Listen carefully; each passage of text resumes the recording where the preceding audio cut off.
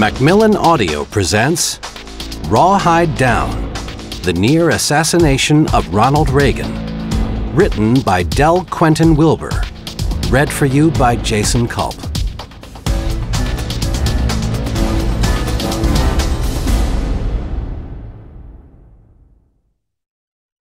Prologue A day before the course of his presidency was forever changed, Ronald Reagan walked to church with his wife, Nancy. Sunday, March 29, 1981, was bright and warm, and as the Reagans strolled through the White House gates and across Pennsylvania Avenue, the President held the First Lady's hand. Trailed by Secret Service agents and a few journalists, the couple waved at onlookers and smiled for camera toting tourists. As they walked through Lafayette Square, a woman pushed her young child through the security perimeter. Grinning, the president bent over to say hello. Reagan was a religious man, but lately he hadn't been able to attend church as often as he would have liked. During the previous year's campaign, it had been hard enough. Since the inauguration, it had been almost impossible. For obvious reasons, security requirements for any trip outside the White House were cumbersome.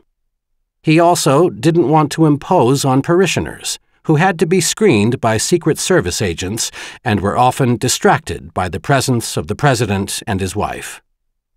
But that spring morning, the Reagans had chosen to attend the 11 o'clock service at St. John's Church, a place of worship as intimately connected to American history as any in the nation. The Episcopal Church, just off the north side of Lafayette Square, was designed by the same architect who rebuilt the White House and the Capitol after they were damaged during the War of 1812. Its half ton steeple bell had been cast by Paul Revere's son, a piece of stained glass donated by President Chester A. Arthur in memory of his wife, hung in its south transept.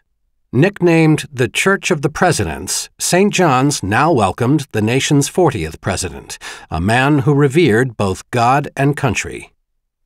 The rector, the Reverend John C. Harper, had preached to every president since Lyndon B. Johnson.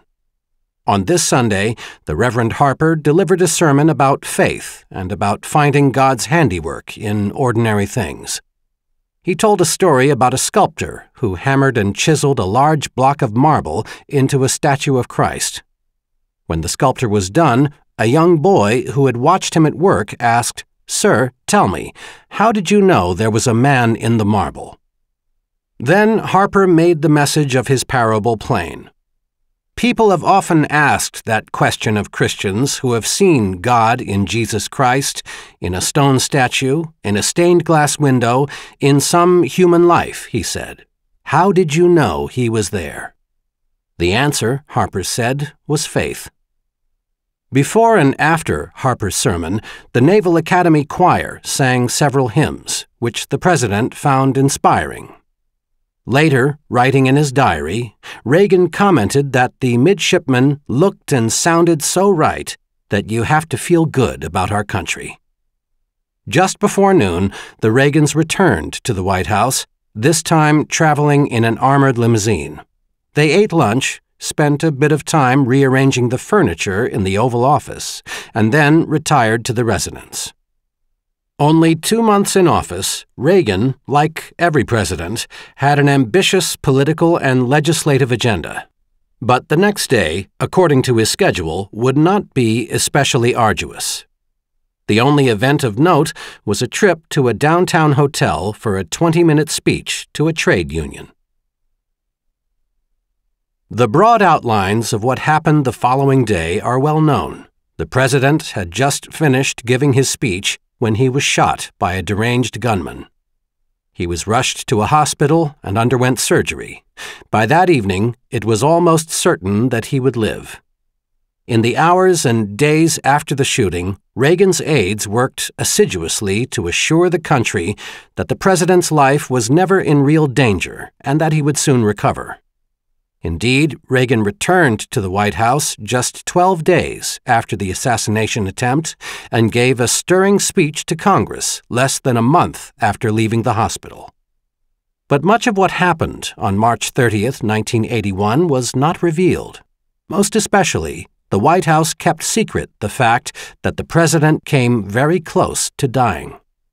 Over the years, a number of details about that terrifying day have emerged, but only now, after many new interviews with participants and an extensive review of unreleased reports, closely held tape recordings, and private diaries, can the full story be told.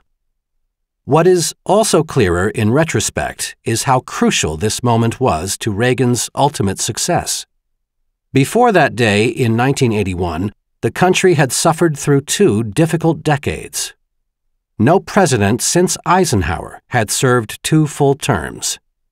Kennedy was slain, Johnson declined to seek a second term after the debacle in Vietnam, Nixon was forced to resign in the wake of Watergate, Carter served just four years after becoming identified with the country's malaise. During the 1980 election, the nation was haunted by the Iranian hostage crisis, which spoke to deep seated fears that the United States might be ungovernable or perhaps in irrecoverable decline. Partly out of frustration with politics as usual, voters turned to a former movie star who seemed to promise a fresh approach, even if he was 69 years old when he took the oath of office. Reagan had not gotten off to a strong start in the two months following his inauguration, he was relentlessly criticized by Democrats for not caring about the poor, for proposing steep cuts in federal programs, and for sending military advisers to El Salvador, which some felt might recapitulate Vietnam. By mid March, he had the lowest approval rating of any modern president at a similar point in his term, during what should have been his post inauguration honeymoon. Only 59% of Americans thought he was doing a good job. His commanding victory the previous November seemed all but forgotten, and White House officials and pollsters were preparing for more difficult days ahead. All that changed on March 30th. The news of the shooting stunned the country. Teachers wheeled televisions into classrooms. Praying citizens filled churches and synagogues, lawmakers darted into back rooms for updates on the president's condition. Only 18 years after the assassination of President Kennedy, the United States once again teetered on the brink of tragedy. Instead, the nation witnessed triumph. A team of Secret Service agents saved Reagan's life at the scene of the shooting.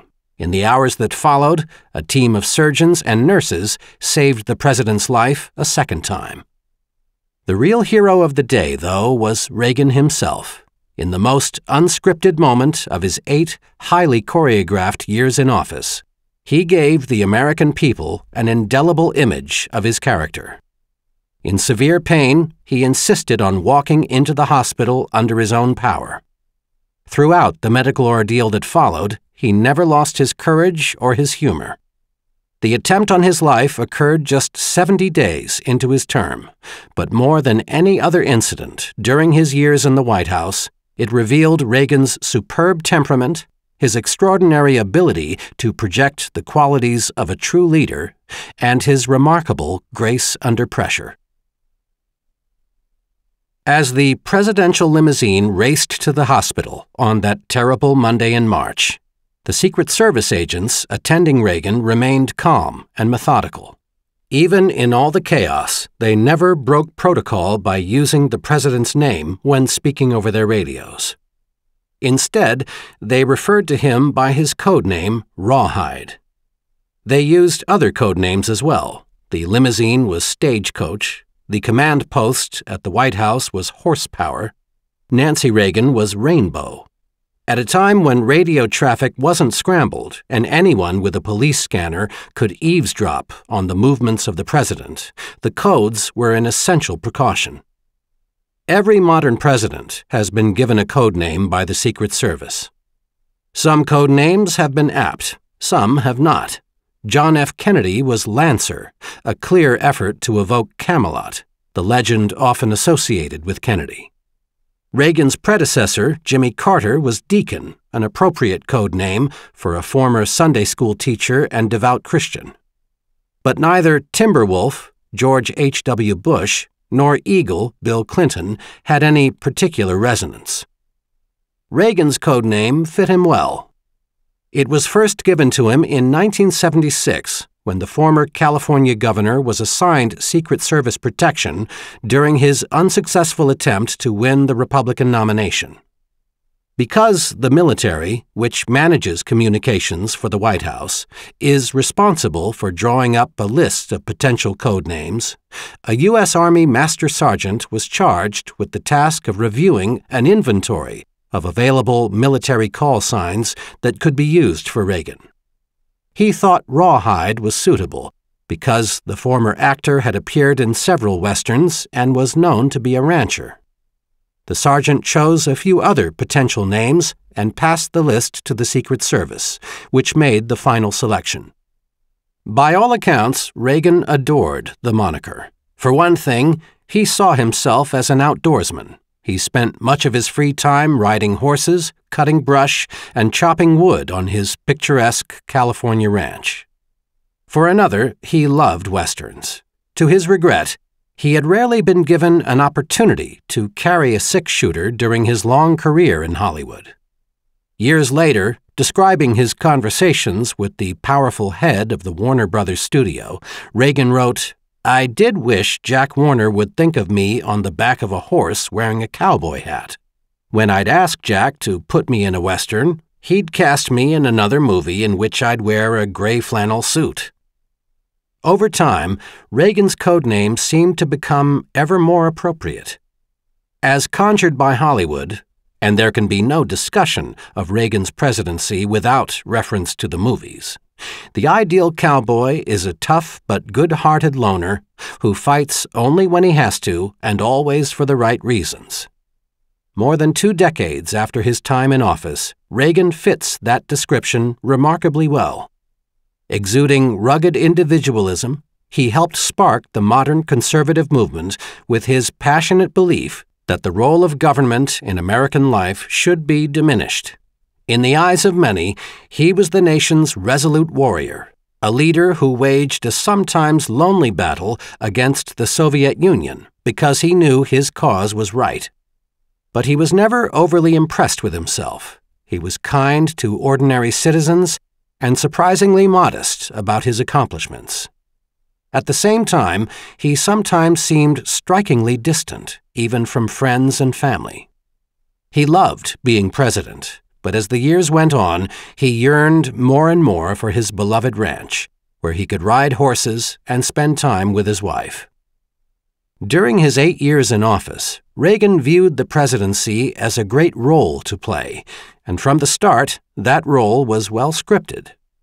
His advisers gave him a briefing book every night that mapped out the next day's schedule and outlined what he was expected to say. They carefully crafted speeches and orchestrated photo opportunities calibrated to convey an image of Reagan, the oldest man ever to hold the office of president, as a strong and vibrant leader. They released countless pictures of him on his ranch and even arranged to have him ride a horse during a visit with Queen Elizabeth, thus producing a convincing image of an American icon. But Reagan never played his role with greater authority than on the day of his near assassination. For that singular moment, Americans perceived a president's character as something separate from his politics. In the months and years that followed, Reagan's courage and grace on that day helped shield him from the effects of mishaps and scandals that would have crippled other administrations. After March 30th, he was no longer simply a staunch conservative who advocated an aggressive and controversial agenda. He was Rawhide, the good kind of cowboy and the brave face of America. When campaigning and after becoming president, Reagan often quoted Thomas Paine, the Englishman who inspired the citizens of the 13 colonies to fight for their freedom during the American Revolution. Paine once wrote, I love the man that can smile in trouble, that can gather strength from distress, and grow brave by reflection. That man was the Ronald Reagan who survived an attempt on his life, and so made possible his historic presidency. Chapter 1 Rendezvous with Destiny When President Ronald Reagan awoke at 7 a.m. on March 30th, 1981, the world outside the White House was gray and dreary. Clouds stretched to the horizon, and a wispy mist filtered through the tips of. We hope you enjoyed this preview. To continue listening to this audiobook on Google Play Books, use the link in the video description.